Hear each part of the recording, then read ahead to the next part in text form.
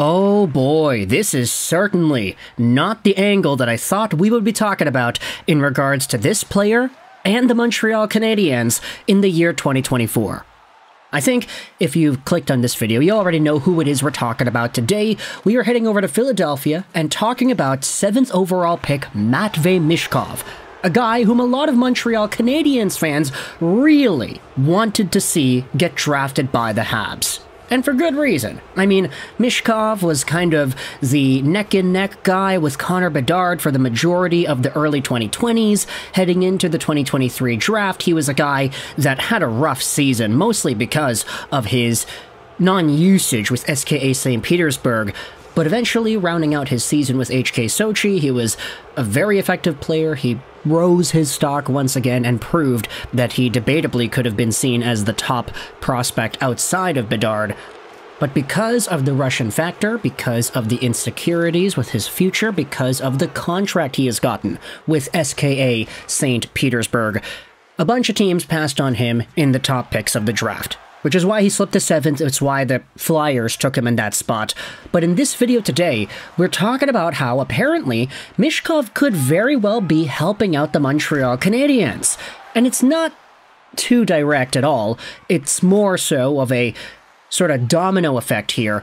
But I wanted to let y'all in on this because it was interesting and I did think this does open the door to a fairly intriguing Canadiens trade discussion.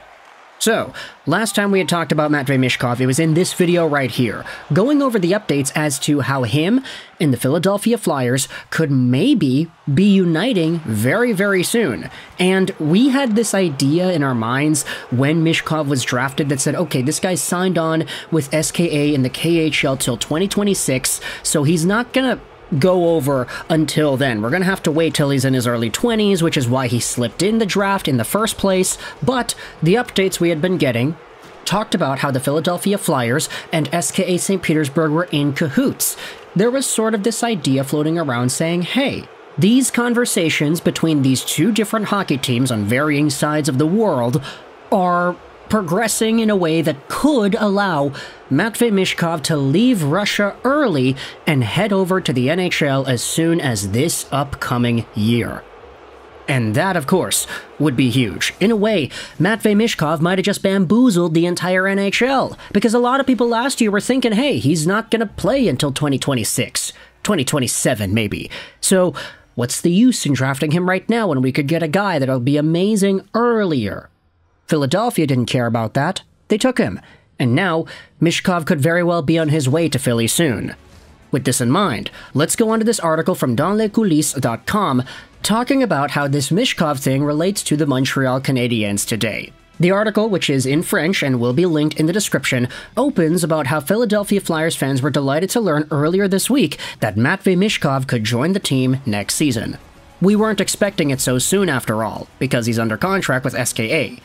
Danny Briere said there were going to be changes this summer because Philadelphia is rebuilding.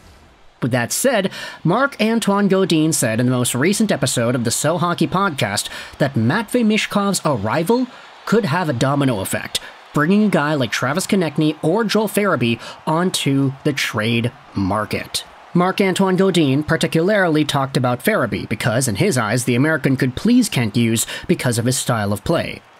Joel Farabee is a guy who, in my opinion, has the tools to interest the Canadiens if the Habs want to make a trade. And with this in mind, we have an entire other discussion to go over Joel Farabee and whether or not he would be a certified addition for the Montreal Canadiens. This is interesting because if you take a look at Farabee, he kind of fits exactly what it is Kent Hughes would want.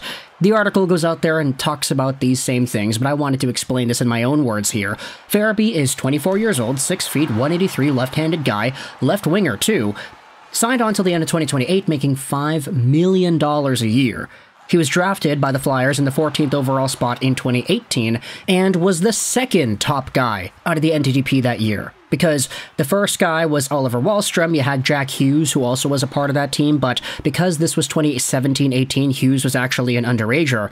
But Wahlstrom, with Farabee and Hughes, they formed a really strong top line, and Farabee eventually took his talents to Philly, where he rounded out as a pretty sustainable player the past few years.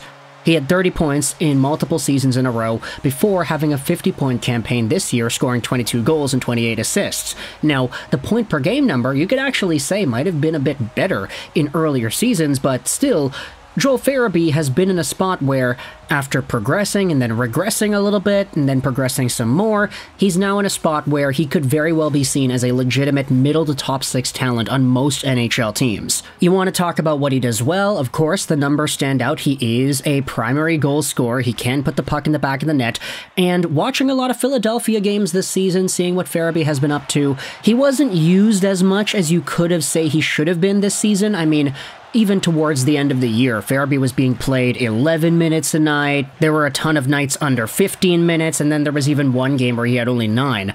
Of course, the Flyers were not really all too great towards the end of the season, but still, Joel Farabee, it's kind of hard to go out there and produce points when he's not really being played, which is why he only had himself one point in his final, what is that, 1, 2, 3, 4, 5, 6, 7, 8, 9, 10, 11, 12 games of the regular season. So, if you remove the one point in 12 games, Joel Farabee, you could say, had himself 49 points in 70 games. That's a lot better of a point per game number, but it does beg the question as to whether or not the Flyers could consider moving on from Farabee. If they wanted to commit to some sort of a rebuild and say, alright, Farabee might be a bit too old for us to really start from scratch, where the new Matvei Michkov era is going to take over. And if a guy like Michkov is here right away, you need a winger spot for him to take, and Farabee, because he could probably fetch a significant haul in the market, might be the sacrifice here. As for the Montreal Canadiens, this article goes out there and proposes a top six of Slavkovsky, Suzuki, and Caufield, Farabee, Dach, and Newhook. That seems like a fairly solid top six, although it does say here that Farabee commands $5 million a year, and his contract ends at the 27-28 season. So there would only be, what, four years of Farabee before you have to re-sign him. And to be honest, that's not like the worst thing in the world. I mean, that's half of a full-length deal at this time. So I don't necessarily think the contract is much of a problem, especially if Farabee is able to consistently produce, let's just say, let's be safe, 55 points a year in full 82 game capacity where he's actually being played and he's given significant minutes. That's a guy who I think is fairly worth 5 million bucks a year.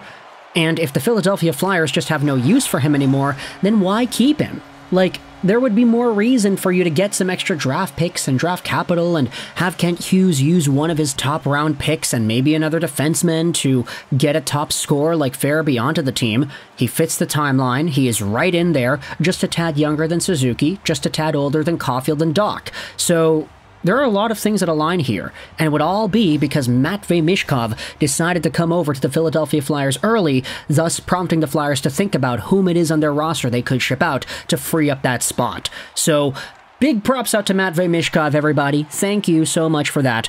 And, you know, I'll say this once more for the Philadelphia fans that are in here. I know y'all like Farabee. There's a good amount of love for this guy that has cultivated over the past few years, but it is understandable to see that with the Flyers' implosion towards the end of the year, this is not a playoff caliber team yet. The fact that you were even close was a miracle, and John Tortorella deserves all the props for that. But thinking about things now, if you're getting Matvei Michkov early, and you need to trade up some guys to free up that space, is Farabee the main dude? Is it more so because you think you can get a lot of stuff for him, rather than it's like, oh, he doesn't fit with the team, or he's bad, or he's this, or he's that? It seems more so like a rebuilding perspective when I see Flyers fans talking about trading Farabee, not because they don't like him, but because this might just be right for the team.